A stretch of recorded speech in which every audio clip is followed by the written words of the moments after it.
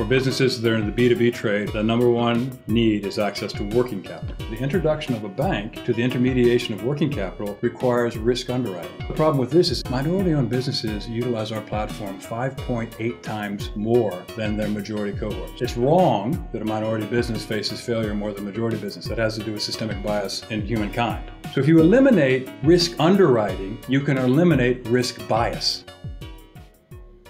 Hi, everyone. It's Julie Verhage Greenberg here with your Tux Time podcast from FinTech Today, where we talk about all things FinTech. And in this episode, I am joined by Sandy Kemper, the chairman and CEO of a company called C2FO, which you may not have heard of, but it helps with something that's really important to businesses, which is cash flow. So, Sandy, I'm super excited to dive into this with you, uh, all the way from, from Kansas City. We're going to have to have a barbecue competition at there, some point. There, there's no way that Austin can compete. When you were in New York, would have worked better. I, I, don't. I don't think. I don't think we can compete. We'll, we'll see. We'll we'll uh, we'll have to play it out. How are there you? we go. I'm good. I am good. So let's start off with uh, a brief description of what you guys do, because I, like I said, businesses are familiar with you, but a, a general consumer listening to this podcast probably doesn't know what C2FO is.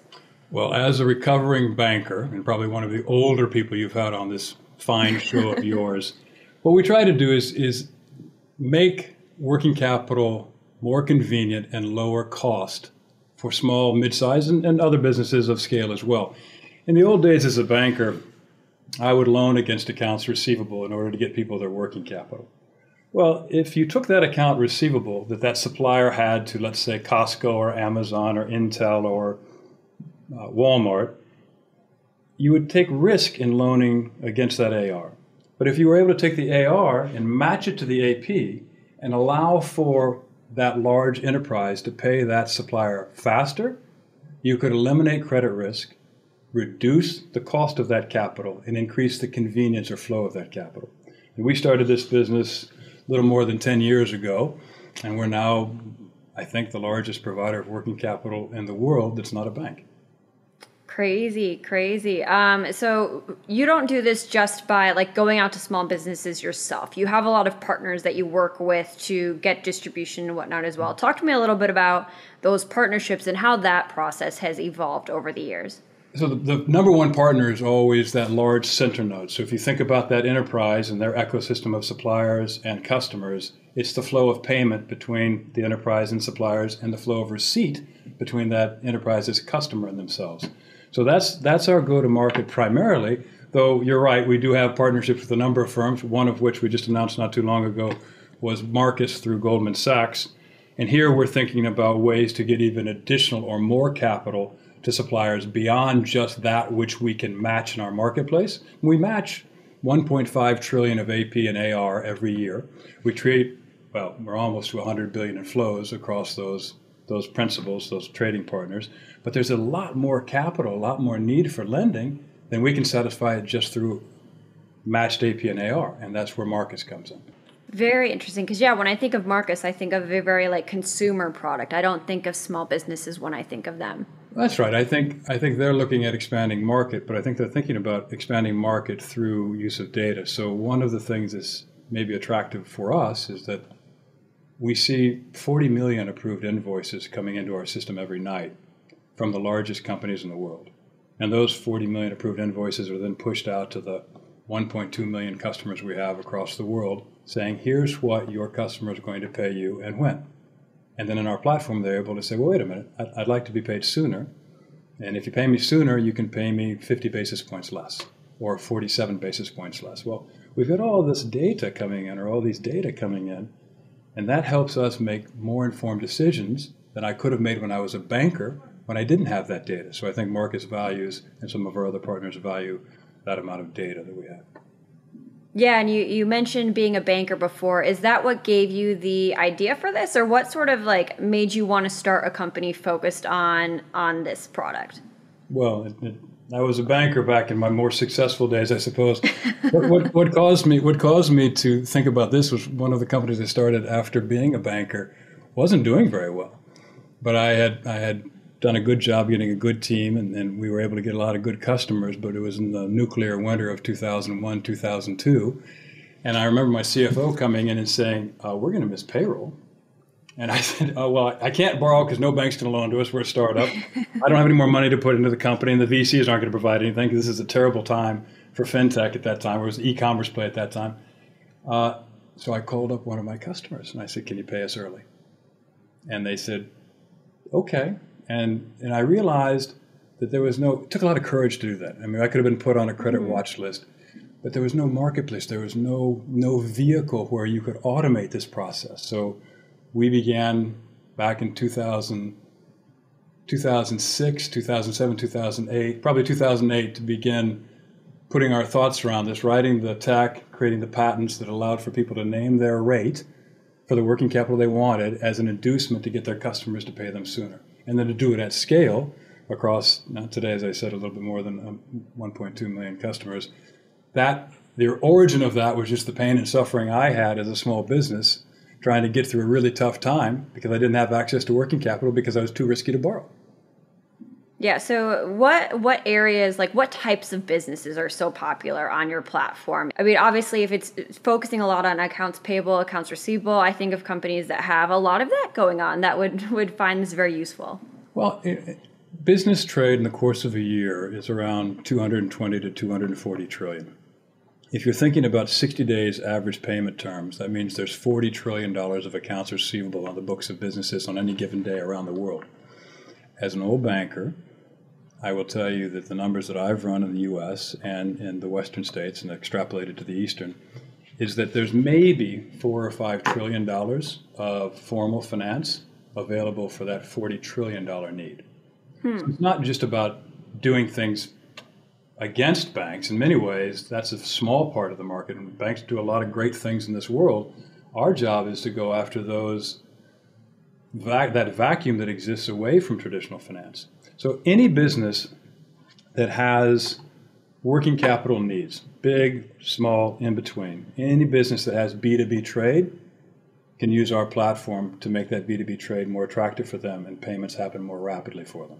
And they can do it at a rate they name. And so the patents that we, we wrote allow for us, at least for the time being, to be the only company in the world that allows companies, individual companies, to be able to name their rate for the working capital they need.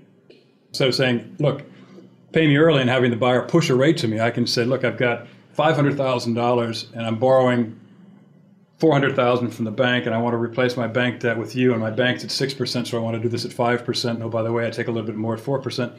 You get to layer your order book according to the price that works for you relative to your working capital, which nobody's ever done before. And it makes it super easy for businesses of all size to use us. You make this all sound so easy and so simple. Yeah, I feel like there's so much that goes on behind the scenes. Like, I don't know, in any in any founder's journey, there's always this time where it's like, oh, I don't think this is going to work, or oh, this is going to be too hard. I can't do this. Like, walk me through that a little bit because you've been you've been through all of this. I think for a founder, that's always the way. Well, it's, it's the way you feel founding this business of yours, right? We yeah. all, all are we good enough? Do we have it built enough? There's so much more for us to do. I said I said we matched 1.5 trillion of AP and AR, and and you know we're just now approaching 100 billion of, of funded flows in a year. That there's a lot more for us to do. Mm-hmm. Yeah. So I mean, walk me through like the the thought process. Obviously, you do have a lot more to do, but how do you manage that? Like, why partner with Marcus by Goldman Sachs yeah. now versus focusing your time on something else? The number one impediment for business growth around the world is access to capital for businesses that are in the B2B trade who have businesses as customers, the number one need is access to working capital. The system's not there today. I told you about the vacuum that exists between that $40 trillion opportunity and the four or five trillion of formal finance. The reason you do this is because if you do it right, you can increase the world's GDP. You can increase the number of people that are employed. You can increase success for families that are that are growing and, and building their businesses and the system is a great system across the world. Financial systems are wonderful. They're they're economic engines for the for the nation's economy. They're just not as effective when it comes to working capital. The introduction of a bank to the intermediation of working capital requires risk underwriting. Mm. Right, and part of the problem with this is you think about those folks that are underserved. Minority-owned businesses utilize our platform 5.8 times more than their majority cohorts. Female WB, female run businesses, 2.6x more. Small businesses, 2.6x more. So if you eliminate risk underwriting, you can eliminate risk bias. So I, I don't mean this as a, as a gross overstatement, but but generally, we in the banking world, when I was a banker, I had to think about failure rates. In a majority environment, minority firms fail more than majority firms. That has to be part of your thinking. Therefore, you have to be more careful sometimes relative to the extension of credit. Well, it's wrong that a minority business faces failure more than majority business. That has to do with systemic bias in humankind. Let's let's eliminate, therefore, the need for risk underwriting, and you can eliminate the excuse for risk bias. Totally, totally. So, I mean, one time that I can think of in recent memory where there are a lot of small businesses that needed a lot of help is just in the pandemic, especially restaurants and others as well. Did you guys, what kind of role did you guys play with that? Because I haven't had a chance to talk to you about this quite yet. We had extraordinary demand. Uh, we wanted very much to to not only create convenient capital but low cost capital. So we, we went to our, our large buyer nodes, we went to our funders who help us secure additional funding, whether it was it wasn't Marcus back then, but other financial players, pushing rate down. So our average rate last year in the United States for the funding we provided was 5.2% APR. What's that usually? Uh, normally six high sixes would be about right. Mid sixes for the U.S., a little bit higher worldwide. But 85% of small businesses, at least the surveys we've done across thousands and thousands, are spending more than 8% for their working capital. And some folks can't get access to working capital. So, in many cases, as is appropriate in a high risk environment, the financial system, the number one responsibility for banks, beyond being good stewards and, and doing the right thing, is to protect their depositors' money. And in a downturn a crisis, you're, you, you, you draw in. You're, you're more mm-hmm. thoughtful and you have to be. And, and I think here again, if you eliminate risk underwriting, you eliminate the need to draw in because there is no risk when Costco pays their supplier early. There is no risk when Pfizer pays their. There's just no risk when you facilitate an early payment. Whereas in the financial world, when you make a loan, there's always risk. So, just all these changes and things that we've gone through over the past 18 months or so. How do you think that changes both your business and just the way people think about the lending environment moving forward from a business perspective? I think the the more risk we see in a system, the more sort of the the, the vicissitudes of, of, of a system, success, failure, success, failure, the more cycling we have and the more volatility we have, the more we realize what an impediment risk underwriting is to providing capital to those who need it. So shocks like this to the system, while being very difficult for the system, help companies like ours who are bringing a different solution to a problem that shouldn't exist. There shouldn't be a risk underwriting need for working capital if you can match the world's AP and the world's AR. Right. Right, that makes sense. That makes sense. And now, something else the pandemic did was it made a lot of people move to other cities. I, for instance, moved to Austin. Um, people moved to the suburbs and bought homes. And people realize they don't want to be at an office five days a week for eight plus hours a day, right? And you guys are one where you do have some people that work right there in Kansas City with you, but you have a lot of people that are in areas across yeah. the world. Uh, what sort of advice do you have for both founders as well as people working for companies that are remote. Because i think there's so many questions swirling around this right now. It's like everything else and the, the more remote and distant and siloed the more you need to focus on communication. And it's it's difficult because we feel sometimes like it's a forced march with all of these zooms.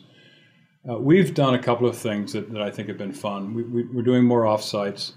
Uh, we're, we're bringing people in when travel allows. We're bringing people together in more fun environments, trying to not force social interaction, but but have some fun with social interac- interaction, allowing allowing people to see each other. We are we're, we're human beings are social animals, and mm-hmm. and having an opportunity to connect physically is still very important for most.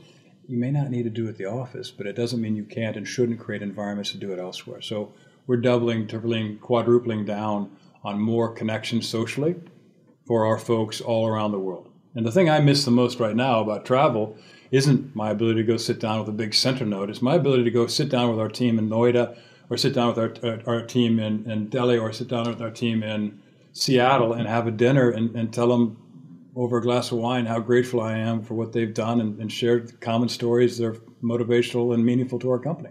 So, for those employees that you don't get to see as often anymore, what sort of advice do you have for both them and other people in their same situation where there's some people that are going into the office and do get to see you, and then there's others that, you know, they want to make sure, oh, like even though I'm not in the office, I want to make sure that like I'm up for that promotion and I get career advancement? I would, when when possible, I would argue for senior leadership to go to the team rather than having the team come to you. Uh, and I think that shows humility and grace and, and acceptance. Now, it's not always possible. I can't I can't pop into someone's house and say, "Let's have dinner," uh, but but finding excuses to come together, as I said, in in not a prescribed way, but in, in physical locations and spending time again, just common stories. We have we have a saying inside the company. It's not it's not so much humans humans have forever told history and stories around the campfires and often they're singing these stories. I don't particularly care what the accent is i don't care what the language is what i care about is are there campfires and are there people around them singing? And are they singing albeit with different accents and different tones and different words are they still singing celebrating the things that matter to us? So finding ways to continue to tell those communal stories preferably in small groups with intimate environments around that campfire, paying attention to the Dunbar number. That's that's fundamental to doing exactly what you want to see done, and that's maintaining that connection even when we're physically remote. Yeah. So how you know staying remote moving forward? How you mentioned how massive this space is. How do you make sure that you are executing that on that and you know fulfilling your your mission of really helping businesses get access to yeah. not only capital but affordable capital. Still as i said still stories right? So how do you how do you make sure that the voice of the customer is heard? Even as a small company we're motivated by the success we enable for our customers right? And, and as i said small company only eight nine hundred people around the world in 160 different co- countries where we serve customers. I think we are we're physically proximate in I don't know 16 different nations. That that, that that from day one that caused us to be disparate. So we were we were always putting the customer's voice first as the unifier. If there was not as much nobility of cause, and, and for us, it's you know, did we did we help that business succeed? Were they able? Was was that entrepreneur was she able to hire that individual to go get that new account? And did she tell us about it in a mm-hmm. video post? And did we celebrate it inside our company? And, and was it was it in india? Was it in china? Was it in england? Was it in germany? So in, all of our people aren't there so we've always been very good at encapsulating those stories those narratives from the voice of the customer and pushing them out to our team so that they could understand what they're doing and how it impacts the existence of our customer not just the the slightly better performance of our customer, the existence of our customer. And yeah. that unifies, and, and because of that, I think we've been very fortunate to have very, very little turnover in our company. So, what does the future of C2FO look like? It's a good question. It looks like it looks like what the team thinks it's going to do, right? As we as it's not it's not it's not up to me to say what the future is going to be. It's, it's more. I'm at the age now and stage where I get a lot more fun out of watching the team and and build the company and do what they want and i'm there to kind of remove barriers for them I, I think it's just it's more the same. How do you make more community happen? With 1.2 million customers across all of these different nations i think 64 different currencies in which we operate 20 different languages how do you how do you create a true geopolitical community united around the needs of small and mid-sized biz. And can you do it in a way that is that is meaningful for your team and meaningful for your customers? So our number one metric is nps inside the company. Our number two metric is nps of our customers. Number three is funding. And, and you know revenues revenues there but you know, revenue comes from our funding apparatus. But having having that funding grow as it is today at about 70% per year and we're growing from 50 50 billion to, gosh, 85 billion. You know, if we can continue growing at those rates, and it's such a big market, as long as we do it always with the heart and the mind and the need of our customer in front of us, we'll probably be okay. It's a big enough market that But I think lots of other people can be in it. Uh, so far, we've been lucky to be one of the few that's been successful in this space. But the world needs a lot more success because there are so many small and mid-sized businesses that are struggling today, and they are 70% of employment globally, 55% of the world's GDP, and 110% of all new job creation. You don't take care of the small and mid-sized business, you don't have an economy. Yeah, no, and I think uh, something we've realized during the pandemic is just how important small businesses are to us. Uh, I want to have one more question. It's something you just touched on is that you're one of the few that have been successful in this space. What do you think has made it so you've been successful while a lot of others have tried this and you know they haven't come as far? I, would, I, I think there's, frankly, I think there are just very few of us who are doing this. Uh, second, I think a lot of those who are going direct to small and mid-sized biz find out that small and mid-sized biz are they're terribly busy. they're they're they're running faster than you and I are. They don't have time really to take their head up out of their operation and realize, oh, I've got this great opportunity here, or I've got this great inbound email from so and so there. It really falls on a lot of deaf ears. The secret for us has been that instead of going directly after the edge nodes, those small and mid-sized businesses, we went to their customers. We went to those center nodes, and so that when we were able to bring in a very large enterprise they then gave to us all of their suppliers. They gave to us all of their customers. So our our acquisition cost has been a fraction of what others have. But but more importantly, I think it's just I think for a long time finance didn't understand tech and tech did not understand finance. I think that's being changed now by the proliferation of fintech coming together. But you know, I've been at this for 12 years. And, and 8 years ago we didn't have a fintech boom and people ask mm-hmm. me, what the hell was I doing? And I said, well, I'm, I'm, probably one of the odd ducks out there that understands finance and has a modicum of understanding of tech. So this is kind of in my wheelhouse. But there are a lot of people in this world of finance that didn't have any idea about tech. And a lot of tech people that were too, I just too focused, were more focused on things outside of finance because the opportunities were greater in building a B2C marketplace or, or, or doing what was done in Internet 1.0 or 2.0. Now, I think it's different. I think we'll see more success in this space as time passes. Sandy, on that note, we will leave it there. I'm excited to see what else you guys do to help small businesses in the future and just how this space evolves. Um, if you guys want to keep following along, definitely check out C2FO. And if you want to stay up to date on what's happening in fintech in general now is Sandy said it's a it's a big deal and more people are paying attention to this now. Check out fintechtoday.co, sign up for our newsletter and we will keep you updated on on all these fun things. Otherwise, thank you Sandy. I appreciate it. Thank you.